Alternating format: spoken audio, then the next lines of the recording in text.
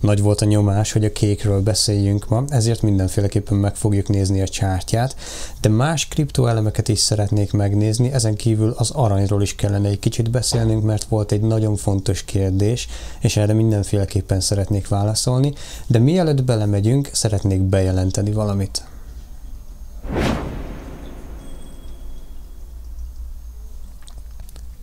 Nagyon sok kérés érkezik a csatornára, hogy milyen elemekkel foglalkozzunk, és ez nagyon fontos, hiszen szeretnék eleget tenni a kéréseiteknek.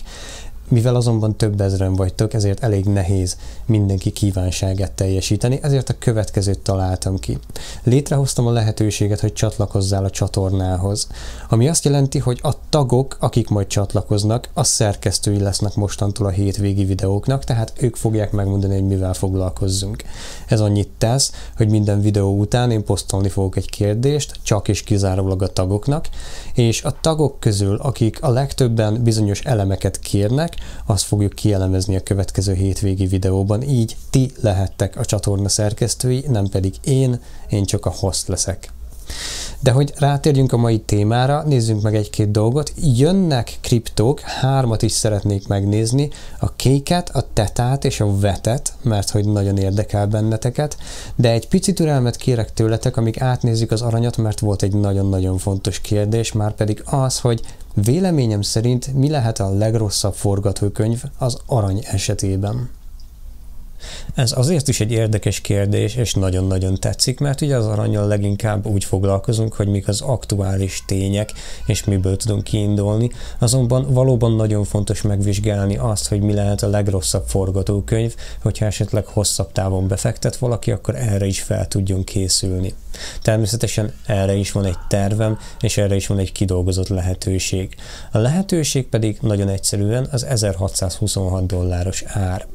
Legrosszabb forgatókönyvem szerint ugyanis valószínűleg a Cup and Holder alakzatot szeretné befejezni az arany, hogyha minden nagyon negatívan indul, ami sajnos azzal kell, hogy járjon, hogy a jelenlegi nagy ciklus a végéig le fog süllyedni az 1626-os szintre, és onnan fog elpattanni felfelé.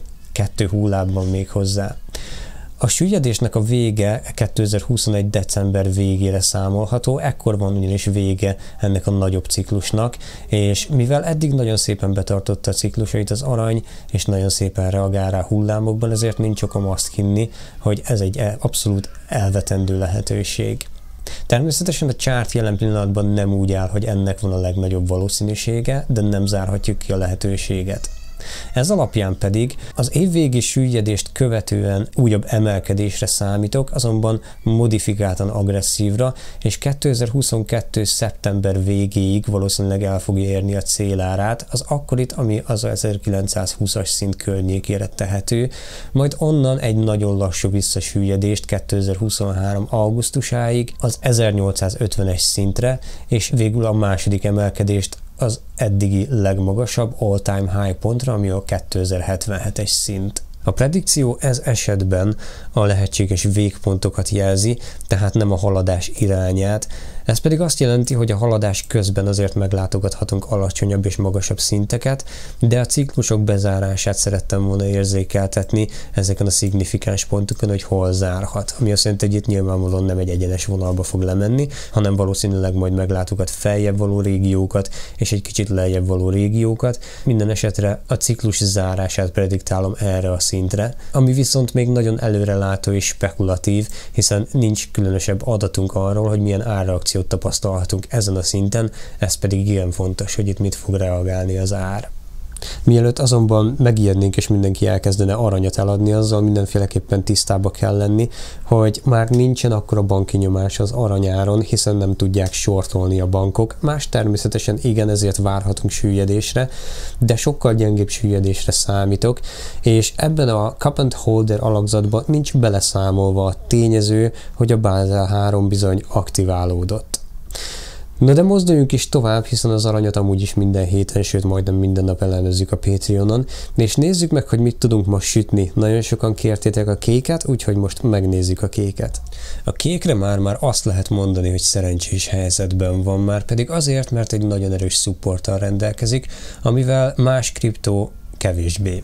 Mivel jelenleg jócskán sikerült eltávolodni ettől a supporttól, ezért ha az a forgatókönyv zajlik le, hogy továbbra is nyomás van majd a kriptópiacon a tőke kiáramlás miatt, illetve fent áll a veszélye, hogy a tőke alacsony szintje esetleg hosszabb ideig marad így, akkor is már megfoghatja a support végleg az árat, hiszen hogyha nincs zuhanás, akkor inkább csak egy modifikált süllyedésre lehet számítani. Jelen pillanatban a kék határozottan bearish trendben mozog, ez teljesen nyilvánvaló, és ez nyilvánvalóan több eladási pozíció nyomást helyez rá, mint amennyi vételit. Igen, valóban igaz, hogy egyszer majd ki kell törnie ebből, és egyszer minden bizonyal ki is fog, csak még nem ért el arra a szintre, hogy ezt megtehesse. A kék esetében nem is nagyon azt kell figyelni, hogy meddig mozog majd a bearish trendben, hanem hogy milyen szinten mozog, ugyanis ez a csárt egy kicsit más, mint a többi. Annyiban más, hogy ugyebár nagyon szignifikáns a support szintje, ugyanakkor nagyon szignifikáns az ellenállás szintje is. Határozottan megállapítható ugyanis, hogy ez az elem sokkal gyengébben reagál mindenre a 21 és 27 USDT szint alatt, mint fölött, ezért ez az ellenállás mindenféleképpen szignifikáns. Ezért ez az ellenállás jelzi nekünk azt, hogy mikor jön vissza újra az erő a kékbe ami számomra egyébként azt is jelenti, biztonsági szempontból nem indítanék vásárlási pozíciót, amíg a 21,27 alatt tartózkodik az ár, ettől függetlenül viszont az ár alakulása rettentő sok technikai információval szolgál. Mivel az elem nagyon fiatal, nem rendelkezik a napos csárton 200-as exponenciális mozgó átlaggal, ami számomra egy negatívum, hiszen ez nagyon sokat elárul a mozgásról és annak tulajdonságáról. Ennek hiányában azonban az 50-es MA-ra, azaz az 50-es exponenciális mozgó átlagra kell hagyatkozni, amit itt sárgával láttok, és nagyjából reprezentálja azt, hogy milyen trendben mozog az ár. Mivel ez jelen pillanatban bearish trend, ezért egyértelműen alatta tartózkodik, és én azt tanácsolnám nektek, hogy egészen addig, amíg alatta tartózkodik, ne is nyúljatok hozzá. A lehető legjobb lehetőség, amit ki tudtok használni a kék esetében, hogyha az 50-es EMA fölé tudna törni az ár konfirmáltan, tehát visszatesztelés után is felette tud maradni, akkor a nagyon-nagyon bátrak, ha nagyon ki szeretnék próbálni, akkor esetleg megindulhatnak a 21,27-es szintig. Viszont csak a 21,27-es szintig tartanám a pozíciót, hiszen ettől a szinttől nagyon nagy esély van arra, hogy könnyedén visszapattalhat sokkal mélyebb szintekre, amennyiben nem stabilizálódik a tőke kiáramlás a kriptópiacon. Ha stabilizálódik, akkor valószínűleg nagy erővel fogja áttörni, és ennek az újratesztelése utáni elinduláskor természetesen újabb vételi pozíciókat lehet eszközölni, melynek a célára lehet a 44,191, ugyanis nincs szignifikáns ellenállás előtte, hogy elérje ezt a szintet. Továbbá határozottan leolvasható, hogy jelen pillanatban nagy mértékkel csökken az eladási nyomás is az áron, ezért igen pozitív lenne, hogyha a 9,69-es szint fölött egy oldalmozgásba kezdenénk, mely oldalmozgás ki tudna rajzolni nekünk egy csatorna struktúrát, és az még jobban segítene nekünk abban, hogy eldöntjük, mikor érdemes vásárolni a kéket. Ez annyit jelent, hogyha az oldalmozgás létrehozza a felső trendvonalat, annak a behúzása után meg tudjuk határozottan állapítani, hogy ennek a trendvonalnak a törése viszont már vételi pozíciót indikálhatna, akár a 21,27-es szintig, ahogyan azt az előbb is bemutattam, viszont ott akkor is elengedném a pozíciót, tekintettel a veszélyre, hogy innen nagyon sokat lepattanhat. Ez mindenféleképpen előnyös lenne számotokra, hiszen ha csak a trendvonaltól az ellenállásig kereskednétek, már 39%-os profitot tudnátok realizálni, majd, hogyha tényleg igazolja, hogy szeretne továbbá is felhaladni, nem kell kaszinózni, hanem megvárni, míg áttörik, és akkor indítani rá a következő pozíciót, mely pozíció? Még nagyobb profit lehetőséggel kecsegtet, egész pontosan egy 100%-ossal, ami szerintem vitán felül áll egy percig sem vonom kétségbe, hogyha valaki azt állítja, hogy a kék sokkal magasabb árszinteket is elérhet, azonban ezek az elemek jelen pillanatban fundamentálisan még instabilak, ezért csak és kizárólag a technikai elemzésre lehet hagyatkozni, hogy valamit ki tudjunk belőle olvasni. Természetesen, hogyha maga a cég és a szervize sikeres lesz a jövőben, rendelkezni fog stabil balance sheet-tel, cashflow-val, akkor már fundamentálisan is komolyabban utána lehet nézni, ez még több támogatás az elemzésre, egyelőre ez még nagyon gyenge lábakon áll. De nézzük meg, hogy hogy reagál a vet, és mit tudunk kihozni belőle, ha ki tudunk hozni belőle valamit. Nos, a VET sokkal-sokkal negatívabb, mint a kék, ugyanis neki nincs meg az a szupportja, mint a kéknek, ami jelen pillanatban erősen támogatná. Sőt, tulajdonképpen supportról már nehezen is beszélhetnénk, hiszen amilyen formában a VET jelen pillanatban bearish, az már inkább ellenállás az ár előtt. A vet már csak azért is negatívabb, mert itt nem tapasztalni azt, hogy csökkenne az eladási nyomás az áron. Láthatjuk, hogy az eladási hullámok is elég egészségesen nagyok, tehát a sortolók itt aktívan részt vesznek jelen pillanatban a kereskedésben, bár hozzá kell tenni, hogy a volume folyamatosan csökken, és ezt láthatjátok, hogyha kivetítjük a volume felső trendvonalait összekötve. Ez a csökkenő trend egyébként nem feltétlenül negatívum, ez azt jelenti, hogy egyre kevesebben kereskedik az elemet, ami viszont a jövőben már prediktálhatja azt, hogy esetleg a süllyedés is gyengébb lábakon fog állni. Minden esetre abszolút negatív az, hogy a 200-as exponenciális mozgó átlag alá kerültünk, annak visszatesztelése is megtörtént, és továbbra is lefelé mozgunk, emiatt pedig a ciklusának a végére, azaz 2021. július 17-ére, ami már igazán csak egy hét, további süllyedést várok tőle, legrosszabb esetben a 0,03783-as szintig. Ez természetesen nem azt jelenti, hogy el is fogja érni, viszont ez egy nagyon rossz forgatókönyv, és mindenféleképpen számolnunk kell a tényjel. Nos, a vetnek nagyon-nagyon nehéz dolga van, ugyanis túl sok az ellenállás előtte, hogyha felfelé szeretne haladni. Először is át kell törnie egy olyan belső trendvonalat, mely lényegében azt reprezentálja, hogy a trendvonal felett mennyivel volt erősebb az ár, és a trendvonal alatt mennyivel gyengébb. Tekintsétek ezt úgy, mint egy rövid távú mérleg, Rövid alatt pedig azt értem, hogy nem magát a trendet próbálja meghatározni, hanem azt, hogy a trenden belül hol erősebb az ár és hol gyengébb. Határozottan látható, hogy ezt a szintet nagyon nehezen akarta letörni, és próbálta fenntartani az erejét, azonban az utolsó nekifutására ez igencsak meghiúsult.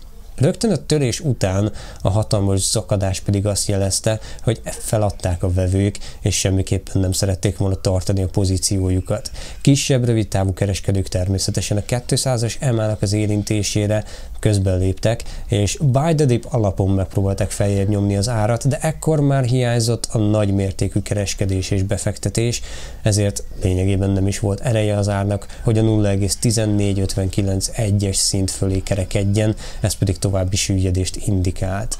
Ha a vet felül is tudnak kerekedni ezen a sárga trendvonalon, akkor következő lépésben meg kell küzdenie a 200-as exponenciális mozgó átlaggal, ami egy igazán nagy falat, hiszen láthatjuk, hogy lefelé sem volt könnyű áttörni, akkor gondolhatjuk, hogy felfelé sem lesz olyan egyszerű, mindemellett nagyon-nagyon közel van már a Death Cross, mindössze 6 napra vagyunk attól, hogy az exponenciális mozgó átlagok crossolják egymást, ami még további süllyedést, illetve teljes részvény elhalást indikálhatna. Részvény elhalás alatt pedig azt értem, hogy egy nagyon hosszú, akár évekig is eltartható oldalmozgásba kezdhet, melyből nem fog tudni felemelkedni egy hamar.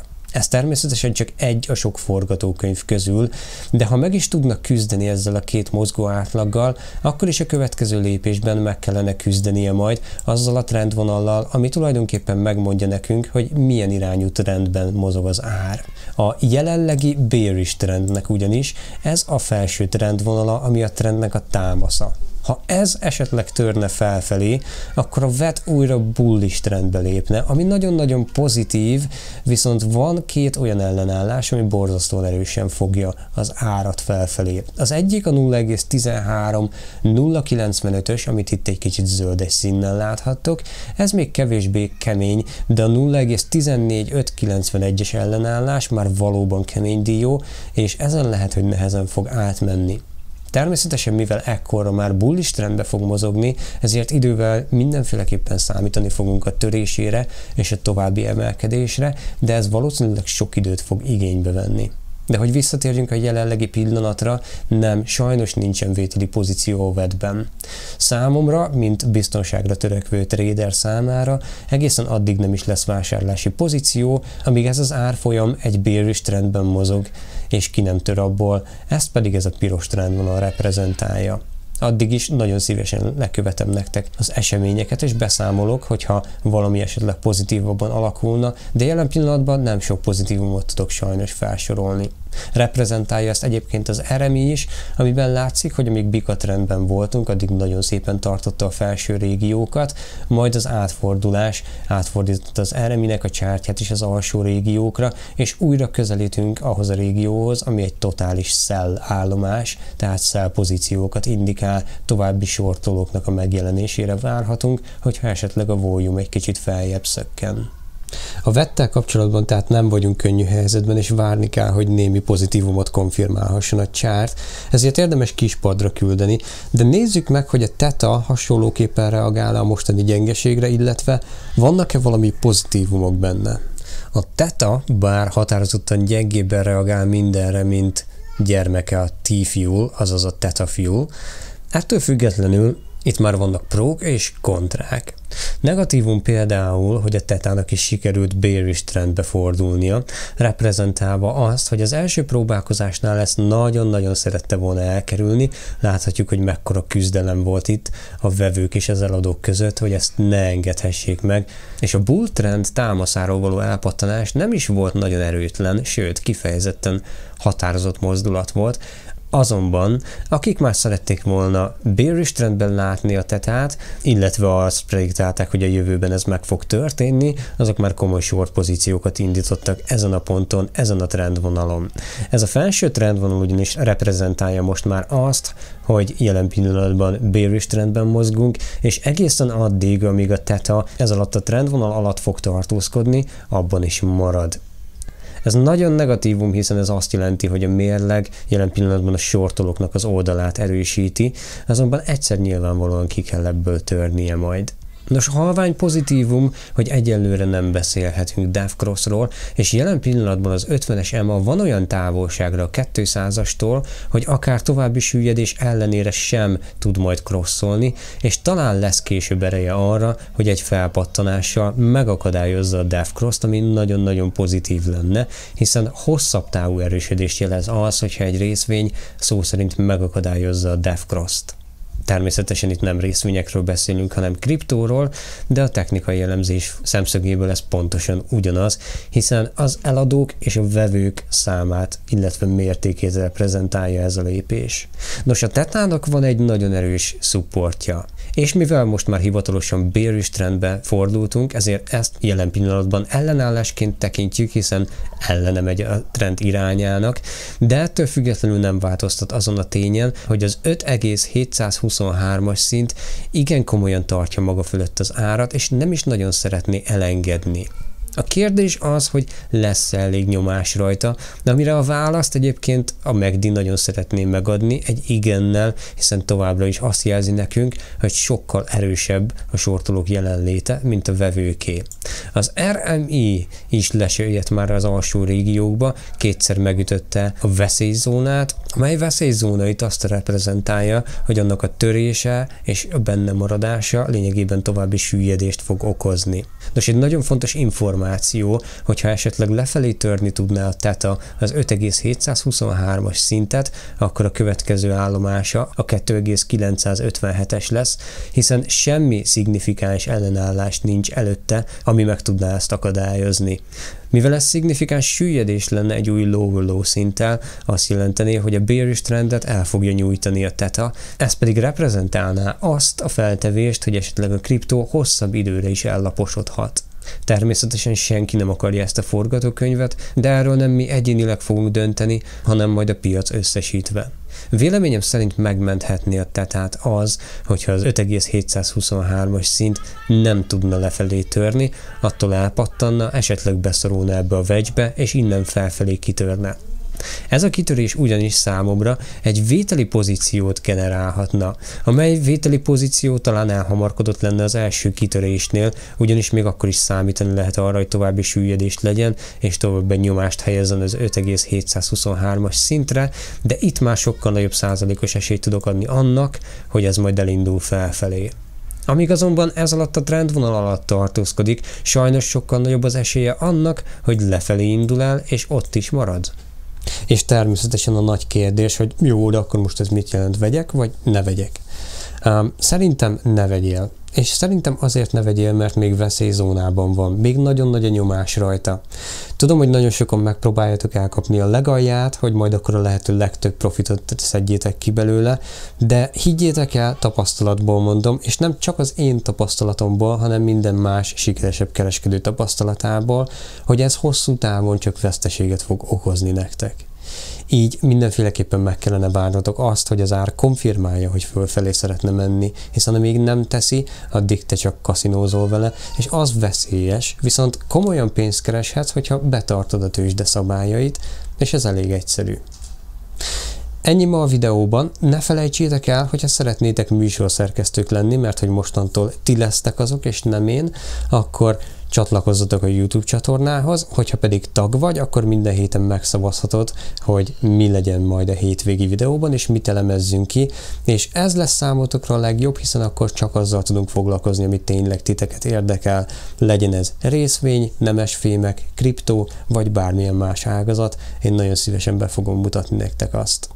Hogyha pedig ennél is több elemzésre vagy kíváncsi, akkor a Patreonon most már 100 fölött vannak az elemzett részvények és a folyamatosan figyelemmel kísért részvények száma, úgyhogy érdemes azt is meglátogatni. Természetesen minél magasabb szinten, minél több részvényt fogsz tudni elérni, de ez a te döntésed, ha szeretnéd, akkor látogassad oda és nézd meg az oldalt. És mi pedig találkozunk a következő videóban. Hétközben fogok írni majd elemzés videókat is, lesz benne kriptó is, lesz benne majd részvény is, mert hogy elég izgalmas hetünk lesz a jövő héten, de erről majd később, és a következő videóig. Sziasztok!